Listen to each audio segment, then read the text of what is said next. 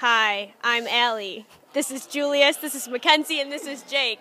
And we are here at Art X having the time of our lives. The crowd dancing was phenomenal.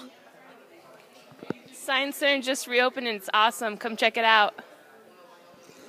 Passalacqua was great. They did a great job. I'm really happy for them. You guys are awesome. I can't wait to come back here. I was here when I was a kid. Now I'm going to be here back again as a kid. Let's do this.